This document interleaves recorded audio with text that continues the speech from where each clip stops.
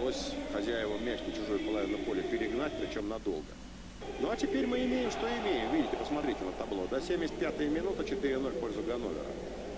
Булахроус.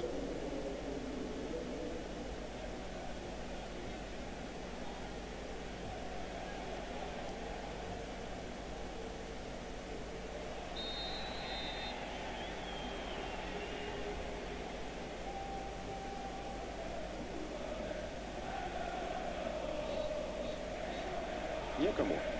Даже здесь некому. Масса.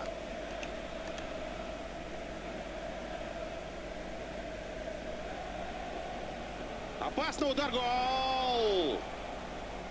Все-таки Гарник добился своего. Выловил этот пас. Праздновали, наверное, мысленно свой четвертый гол футболиста Ганновера. Длиннющая передача от Булахруза. Кто там в центре-то мяч задел? Квист. Ну и дальше Ибишевич выводит Гарника на удар. Тот правильно, резонно.